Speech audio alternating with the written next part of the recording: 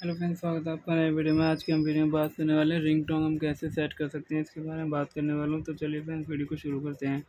Video को शुरू करने से पहले अगर आप चैनल पर नए हैं तो चैनल को सब्सक्राइब और वीडियो को लाइक कर दीजिए। फ्रेंड जैसे कि आप देख सकते हैं, मेरे पास ये टेक्नो का फ़ोन है और आपको सबसे पहले क्या करना है, सेटिंग पर क्लिक करना है। तो क्लिक कर लेंगे और सेटिंग पर क्लिक करने के बाद आपको इस तरीके का आइकन शो करेगा। आपको यहाँ पर क्या करना होगा, जैसे कि आप देख सकते हैं थोड़ा सा ऊपर की साइड स्क्रॉल करेंगे और साउंड एंड वाइब्रेट वाले ऑप्शन पे जाना है।